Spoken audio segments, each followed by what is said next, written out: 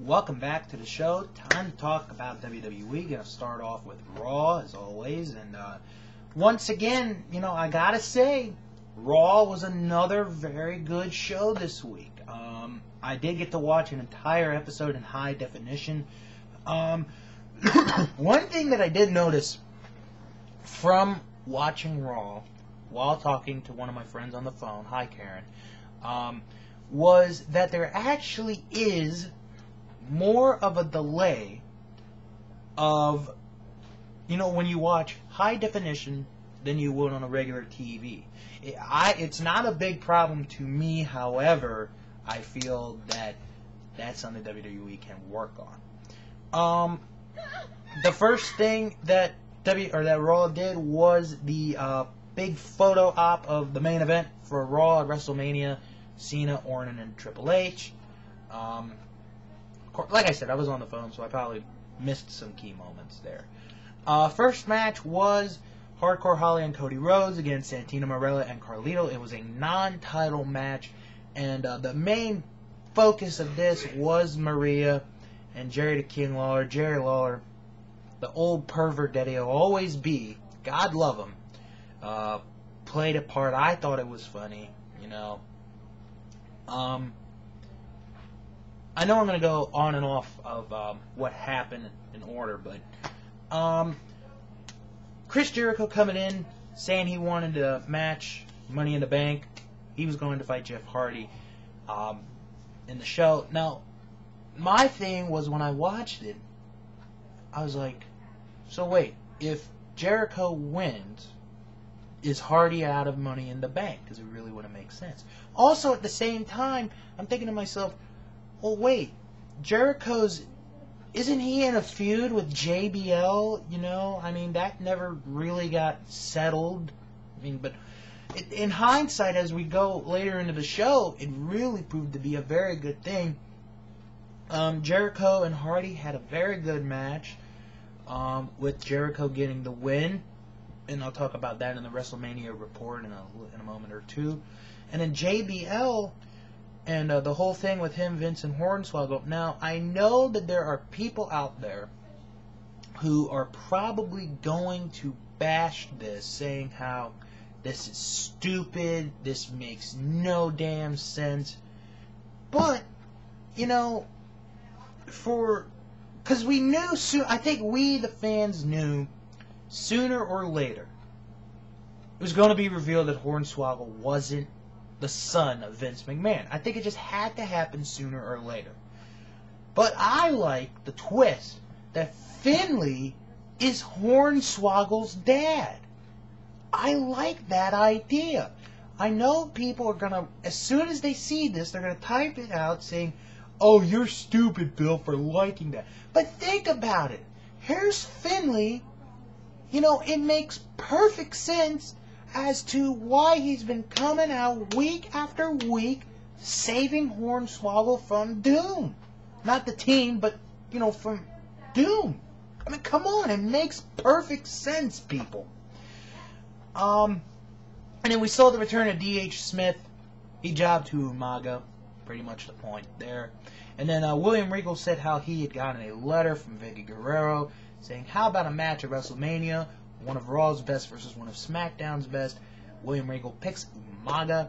I think, well, you're going to actually get a little bit of a spoiler. I don't do spoilers on the show, but you're going to get a nice surprise on that. And then um, the main event, a pretty good tag match. Orton and uh, Kennedy against Cena and Triple H, a good tag match. Oh, and Shawn Michaels. Can't forget about Shawn Michaels and Ric Flair. Great um, segment there. And then the Hall of Fame announcement that Rocky Johnson and the High Chief Peter Maivia are going into the WWE Hall of Fame, with The Rock inducting both men. Uh, on behalf of the Wrestling Man's Wrestling Show, I congratulate High Chief Peter Maivia and Rocky Johnson as the new members of the WWE Hall of Fame, and they actually are, in fact, on the ballot for the Wrestling Man's Wrestling Show Hall of Fame, which I'll talk about at the end of today's show. So, with all that, in one breath. It is time for the WrestleMania report, and WrestleMania, can you believe this, ladies and gentlemen, is four weeks away from this Sunday night March the 30th, live on pay-per-view. Special start time of 7 p.m. Eastern, 4 p.m. Pacific. And if you don't have pay-per-view ability or capabilities, you can watch it on WWE.com. And what a night it's going to be, ladies and gentlemen, with a double main event. The WWE Championship will be on the line in a triple threat match as Randy Orton defends the gold against both John Cena and Triple H. John Cena has never lost a title match at WrestleMania. Keep that in mind. It is the streak versus the title as Edge defends the World Heavyweight title against The Undertaker. In the much publicized match, Floyd Mayweather Jr. will go one on one with The Big Show. And now, these new matches added this week to the card. It's career threatening time as the Nature Boy Ric Flair goes up against the Heartbreak Kid, Shawn Michaels. Two new people have been added to the all important Money in the Bank ladder match Shelton Benjamin and Chris Jericho. Raw vs. SmackDown will see Umaga representing Raw against Batista representing SmackDown. And it's Bunny Mania as Candice, Michelle, and Maria team up against the Glamazon and Melina. Now then, last week, the WrestleMania question of the week was that, or well, the stat of the week was that New York was the first state to host back-to-back WrestleManias, WrestleManias 1 and 2. The question that, or last week was, could you name the only other state that held back-to-back WrestleManias? And for bonus points, could you name the city, well, and the WrestleMania that hosted?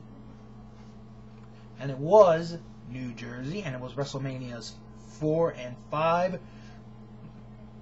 Excuse me. At the Trump Plaza Casino and Hotel, and of course, uh, that really started what we know of the friendship of Vince McMahon and Donald Trump. Now, three people got that right this week, and uh, real quick, Jared Bond was one of them. The other two were WWE JTH, and I think was that it? Yeah, those were the two. Okay, I thought there was more than two. But here is this week's WrestleMania stat. There we go. This week's WrestleMania stat comes from WrestleMania 12. As we know, Shawn Michaels and Bret the Hitman Hart wrestled for the WWE title in the Iron Man match, one of the all-time classic matches. It was and is to this day the longest match in WrestleMania history. One hour, one minute, and 52 seconds. This week's question is, can you name the second longest match in WrestleMania history? And who were the participants and which WrestleMania was it? Going to be a very interesting question, and well, it's a very interesting question. It'll be a very interesting answer. I want to see who gets this one. When I come back, it's TNA and Ring of Honor.